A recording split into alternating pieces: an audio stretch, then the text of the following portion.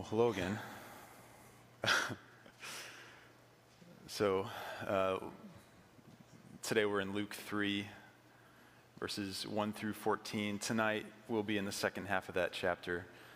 Um, this chapter is following immediately the passage we heard last week from Doug Fauble in Luke 2 with Jesus, um, 12 years old, growing up, losing his parents, and going to the and then finding them again, or they finding him rather in the temple.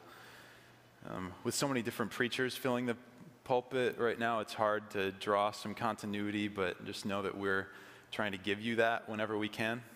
so, um, in the near future, Kurt and I will both be preaching out of the lectionary passages, um, the Gospel of Luke. Um, and also, a note about the preaching schedule it's all filled with familiar faces right now. So um, we'll have Marv Hoffman next week, Bill Vanderwerp coming back um, several times in February, um, and of course, Kurt and I. So with that, um, would you turn your Bibles to Luke 3, verse 1 through 14? In the 15th year of the reign of Tiberius Caesar, Pontius Pilate being governor of Judea, Herod being tetrarch of Galilee, and his brother Philip, tetrarch of the region of Iturea and Trachonitis, and Lysanias, tetrarch of Abilene, during the high priesthood of Annas and Caiaphas. The word of God came to John, the son of Zechariah, in the wilderness, and he went into all the regions surrounding the Jordan, proclaiming a baptism of repentance for the forgiveness of sins as it is written in the book of the words of Isaiah the prophet the voice of one crying in the wilderness, Prepare the way of the Lord, make his paths straight. Every valley shall be filled, and every mountain and hill shall be made low. The crooked shall become straight, and the rough places shall become level ways, and all flesh shall see the salvation of God.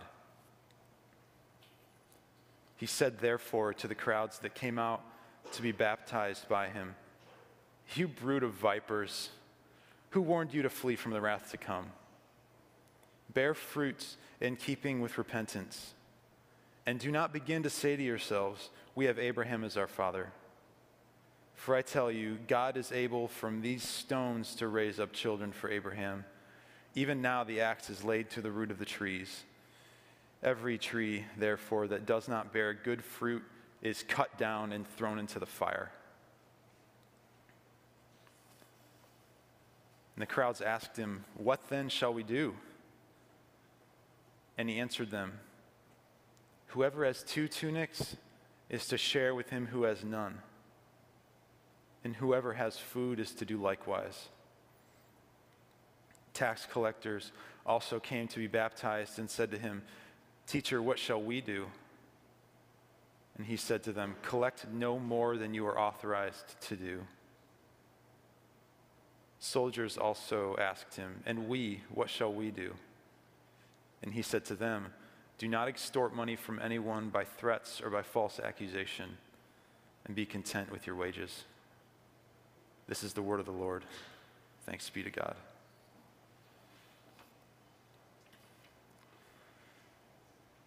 John was proclaiming a baptism of repentance for the forgiveness of sins in Eugene Peterson's translation of the Bible, the message, um, it's called A Baptism of Life Change, leading to the repentance of sins, or the forgiveness of sins, rather.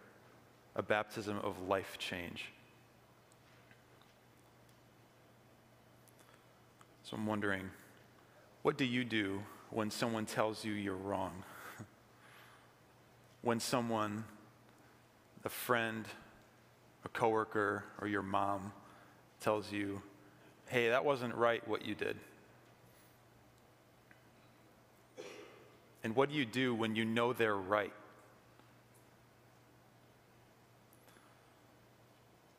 The easy answer, of course, is to admit that you're wrong, to apologize for whatever it was you did to the person you hurt, to go on with your life. But what if it's more complicated than that? What if fixing this mistake takes more than a simple, I'm sorry? What if it means turning your life around? Turning from the path you're on to return to the straight and narrow. What do you do when all of a sudden that you've been getting it wrong for a while? That your friends have been getting it wrong for a while? I think that's what this moment was like for the crowds who came to to hear John speak and to be baptized by him. The gospel crashed in on them as John told it, convicting them, causing them to question their assumptions of what is right and what is wrong, and how important it is to do good, how important it is to love your neighbor. The Holy Spirit sent John to go ahead of Jesus, preparing the way for him by preaching this baptism of life change to anyone who would listen. And I called the sermon Preparing the Way of the Lord because that's what John is doing in his message to the crowds. He told them to make their paths straight because the crooked ways do not lead to God. He told them to repent because only the humble and contrite of heart can truly receive the gospel of Jesus Christ.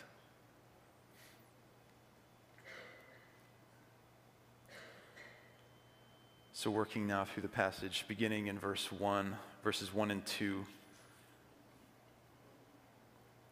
Luke begins by placing us in time, in a particular time. That long list of rulers, which maybe uh, we resent a little bit because we don't know how to say their names. That long list of rulers, beginning with the Roman emperor, um, would help contemporary readers to understand precisely when it was that John the Baptist began his ministry, and thus when Jesus began his. Remember that Luke addressed his gospel and the book of Acts to someone named Theophilus. We don't know anything about Theophilus, who this person was, if it was a proper name or a title, or if it was a group of people, even. Um, Theophilus in Greek means lover of God. And maybe that's the important part. In any case, Luke writes in chapter 1 of his gospel that he is writing that you may have certainty concerning the things you've been taught. Luke has gone out of his way to write a full and trustworthy account of the gospel, um, of all that surrounded the life and ministry of Jesus. So he gives the reader facts, the specific year of its occurrence, the 15th year of the reign of Tiberius Caesar. Everybody knew what that meant who lived in that time. It would be like for us to say, yeah, it's happened in 2002 or 1975. We begin to call to mind what those days were like. He's also setting the stage for events that would happen later, um, including characters that would show up. Pontius Pilate is mentioned, Annas and Caiaphas, the high priests who would arrest Jesus and bring him to Pilate, are mentioned here. But there's another layer to this. One of the claims that we make as Christians that's different from the rest of the world is that Christ is Lord. Christ is Lord. Like in the Apostles' Creed that we sang earlier, I believe in God the Father, the Almighty Maker of heaven and earth. I believe in Jesus Christ, his only Son, our Lord. He will come to judge the living and the dead.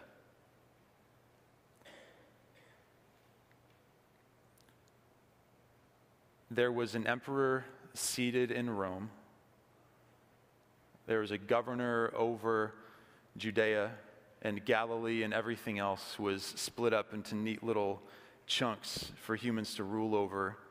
When the Spirit of God spoke to the wild son of a priest in the middle of the wilderness, telling him news that the emperor did not know, that the emperor did not allow, that a previous king, King Herod, had tried to squash by murdering infants 30 years before. And that news is that the Messiah had come. Not to operate inside our power structures, not to serve as emperor, but to heal us, to save us. Luke tells us who the emperor is to show us how powerless the emperor is when it comes to matters of salvation. How, in spite of his status, he can't stop what's coming next. And Jesus came as a peasant to upturn our ideas about power and might. the political hierarchy in the kingdom of God is nothing like what we've built. There's no emperor there, no, no governor, no president, no politicians, even. There's only Jesus, the slaughtered and risen Lamb, who does not govern by strength with guns or swords, but with love, hesed, steadfast love. Heaven is upside down because it's the place where every valley is exalted. I think Luke is showing us that Jesus did not rise above everyone else to be crowned with laurels, but he's worthy to be praised because he is humble, because he came to give himself for everyone. Christ humbled himself, sacrificed himself, giving up all of his power to save the world. So the word of the Lord came to the son of a priest in the desert Make straight the path for him.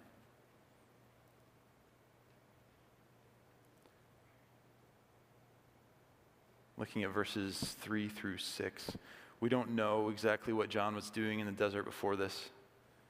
Um, we do know that he was brought up probably knowing his purpose in life. His mother Elizabeth and Mary had met while both Jesus and John were in the womb. The angel had spoken this prophecy. So we don't know what he was doing in the wilderness, but we do know that when the Spirit of God came to him, he knew why.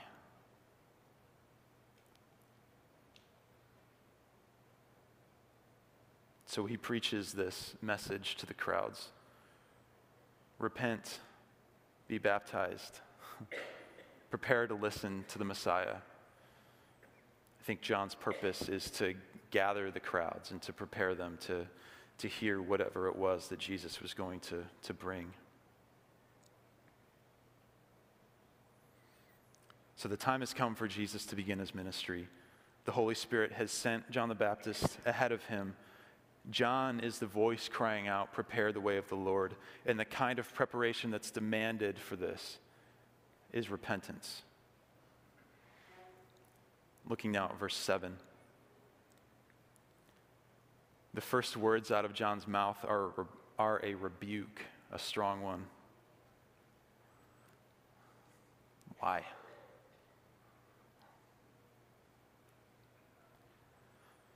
in Matthew's account of this scene, um, he tells us that John is responding so harshly to Pharisees who have come to receive this little extra dose of salvation. We know that some Pharisees had begun to splendidly miss the point of what faith in God meant by the time Jesus came around. Um, and the Pharisees, the teachers of the law, were more likely than anyone else to count on the law that is, the Hebrew scriptures and the covenant of circumcision, to justify any bad behavior, um, to say we are sons of Abraham. If their moral lives were in shambles, if they'd forgotten how to act mercifully, if they were no longer capable of loving their neighbor, they could still point to the covenant and say, We're okay. Um, and the next part of John's tirade seems to support this idea that it was the Pharisees that he was, that he was criticizing because he's focused on their lack of fruit. He says, bear fruit in keeping with repentance. Even now the axe is laid to the root of the trees. Every tree that does not bear good fruit is cut down and thrown into the fire. Sound familiar? The language of that? John is brandishing Psalm 1 against them. Psalm 1, which has shown up a surprising number of times um, in our worship here over the last year or more, an image of the new creation that shows up all over Scripture. So actually, maybe it's not all that surprising that it's shown up so many times. Psalm 1 says, Blessed is the man who walks not in the counsel of the wicked, nor stands in the way of sinners, nor sits in the seat of scoffers. But his delight is in the law of the Lord, and on his law he meditates day and night. He's like a tree planted by streams of living water that yields its fruit in its season, and its leaf does not wither. In all that he does, he prospers. The wicked are not so, but are like chaff that the wind drives away. Therefore, the wicked will not stand in the judgment, nor sinners in the congregation of the righteous. For the Lord knows the way of the righteous, but the way of the wicked will perish. And John says, The axe is at the root of the trees. All God's people are called to be like trees planted next to the river of Christ's fullness, which we find here in God's house, in worship, in the preaching of the word, in the word itself, in the sacraments and baptism and communion, in the fellowship of God's people. We're called to be planted in those things. We're called to do justice, to love kindness, to walk humbly with our God, to love our neighbors as ourselves.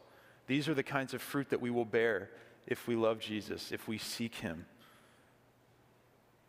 Justice, love, humility.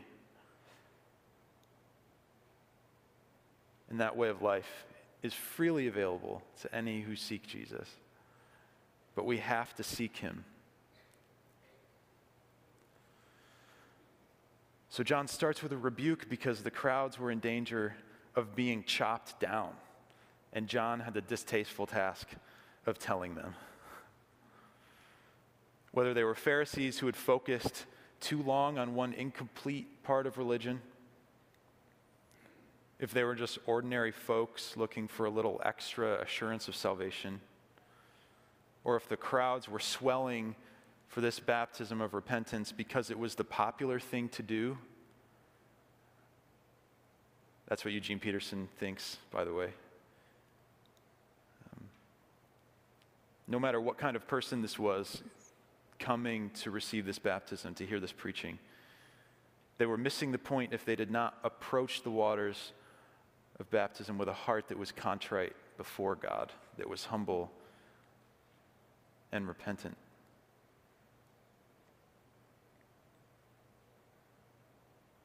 So actually, he called them snakes because he had their best interests in mind.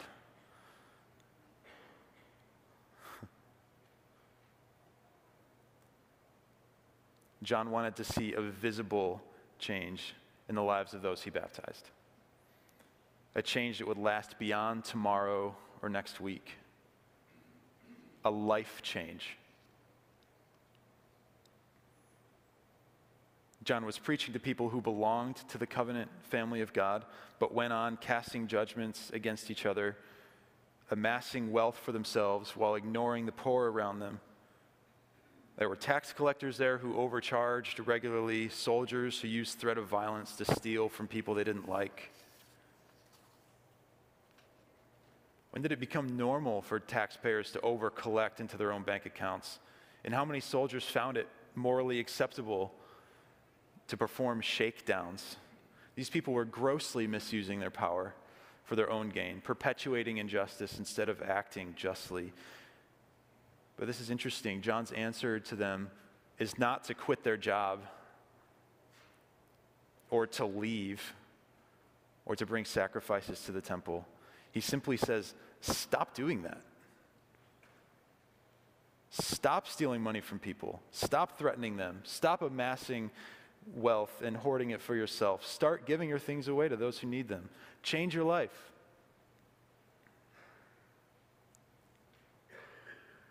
So stop fighting. Stop the addiction. Stop the pride. Stop lying. Whatever it is you do. The invitation this morning is to stop and turn and repent of it. Jesus is waiting for us to do just that.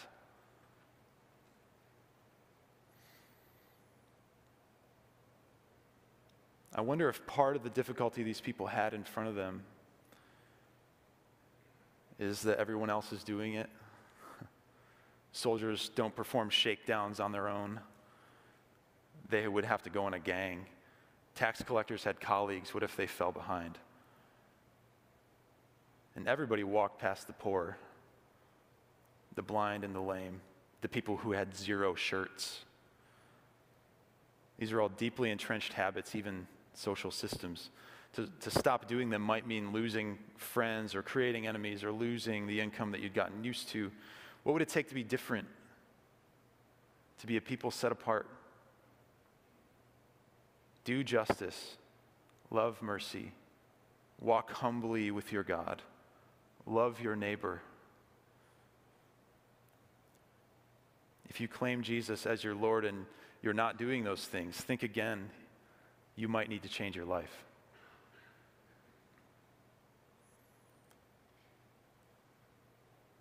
And using this verse, Micah 6 8, um, I'm using it because I think it summarizes John's teaching to the crowds. Do justice, he says to them, give clothes to those who have none. Do justice, he says to the tax collector, who sometimes would use their power to steal. Love mercy, he says to the soldier who would use their weapons to threaten violence against those who had no defense and walk humbly with your God, he says to all of them, by repenting of your sin, turning from your wicked ways. I wonder if there's a sin in your life that you need to turn from today. Pride that needs to turn to humility, a lie that needs to turn to truth. Now is the time to turn from it now is the time to make a life change. If you call Christ Lord, you are saved. If you were baptized in those waters, you are forgiven. But moving forward was never going to be easy. There are always going to be things that we need to slough off, branches that need to be pruned so that we can walk the road of righteousness. So do justice, love mercy, walk humbly with your God. In the name of the Father, the Son, and the Holy Spirit. Amen. You pray with me?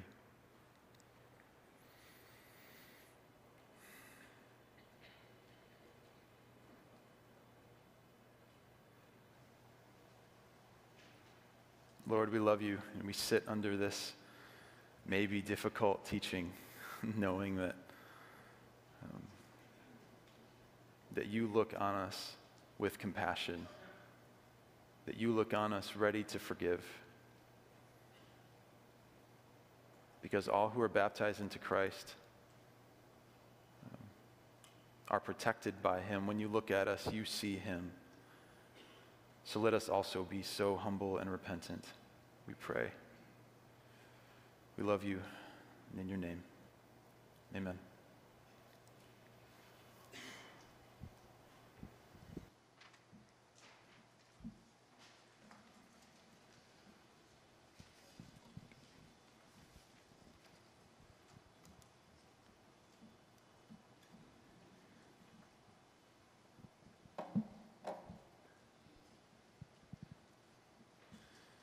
Would you rise if you're able?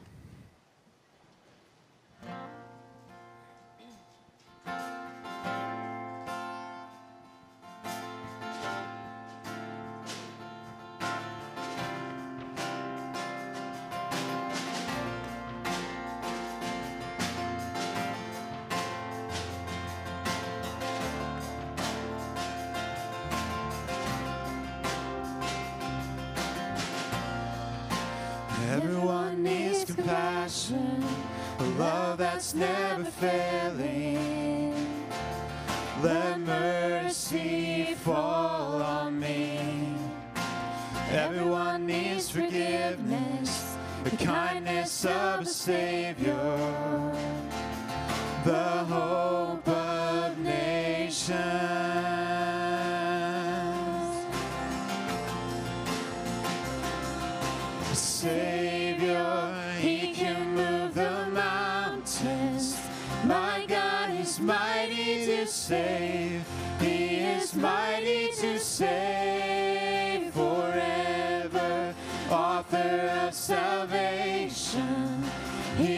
Jesus conquered the grave.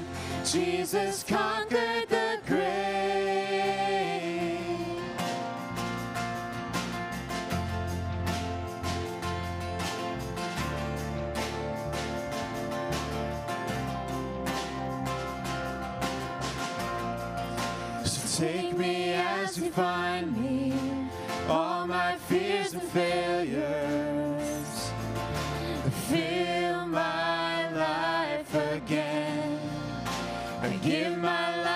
life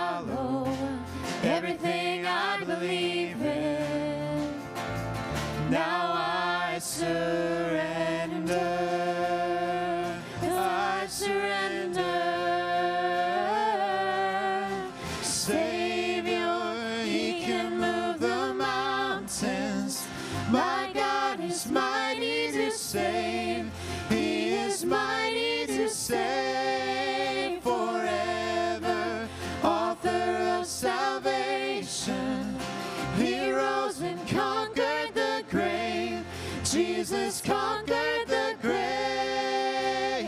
Shine your light and let the whole world see. We're singing for the glory of the risen King. Jesus, shine your light and let the whole world see. We're singing for the glory of the risen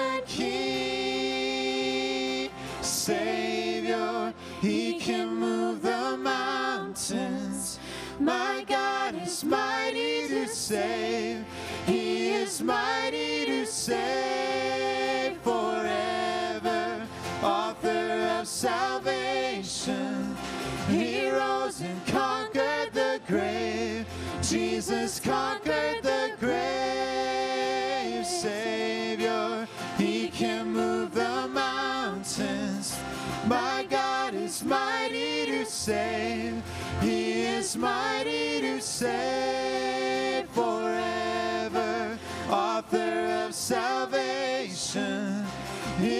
And conquered the grave. Jesus conquered the grave.